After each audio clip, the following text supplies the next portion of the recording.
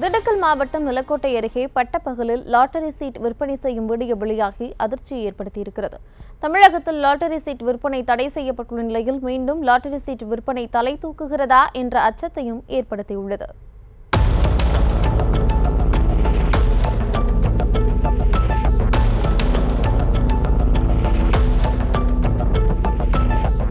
உழைப்பை விட அதிர்ஷ்டத்தை நம்பி பணத்தை இழந்த மக்களை காப்பாற்றும் நோக்கில் லாட்டரி விற்பனை தமிழகத்தில் தடை செய்யப்பட்டது. ஆனாலும் கள்ளத்தனமாக லாட்டரி சீட்டு விற்பனை தொடர்ந்து கொண்டேதான் இருக்கிறது. அதன் ஒரு பகுதியாக திண்டுக்கல் மாவட்டம் நிலக்கோட்டை தாலுகா அம்மையநாயக்கனூர் வத்தலகுண்டு பட்டிவீரன்பட்டி உள்ளிட்ட பல்வேறு பகுதிகளில் கடந்த சில நாட்களாக பட்ட பகலில் மக்கள் நடமாட்டமுள்ள பகுதிகளிலேயே தமிழக அரசால் தடை செய்யப்பட்ட லாட்டரி டிக்கெட்டுகள் விற்பனை ஜோராக நடைபெற்று வருகிறது.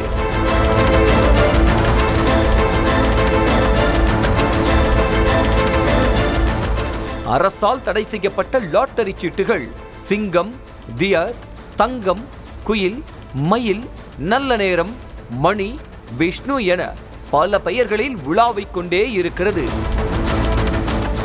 இந்த லாட்டரி சீட்டுகளை விற்று தீர்க்க மக்கள் அதிகம் கூடும் பஸ் நிலையம் நிலக்கோட்டை பூ மார்க்கெட் பள்ளிக்கூடங்கள் மருத்துவமனைகள் டீக்கடை பேக்கரி உள்ளிட்ட இடங்களில் விற்பனை செய்வதாகவும் தெரிவிக்கப்பட்டுள்ளது. இந்த லாட்டரிகளின் முடிவை ஆன்லைனில் பார்த்து அதனை உரியவர்களிடம் தெரியப்படுத்தி வருகின்றனர்.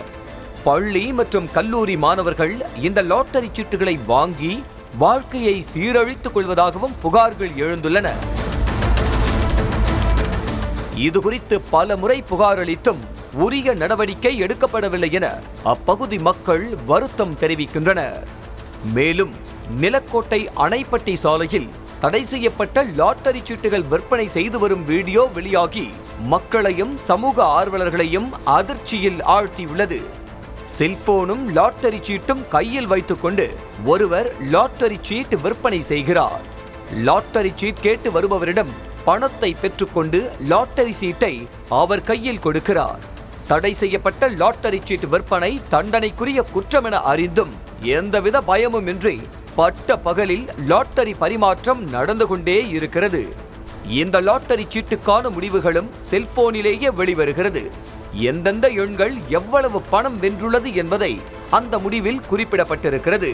ஒரு பக்கம் லாட்டரி விற்பவர்களை பெயரளவிற்கு போலீசார் கைது செய்து வந்தாலும் மறுபக்கம் லாட்டரி விற்பனை அமோகமாக நடைபெற்றுக் கொண்டேதான் இருக்கிறது.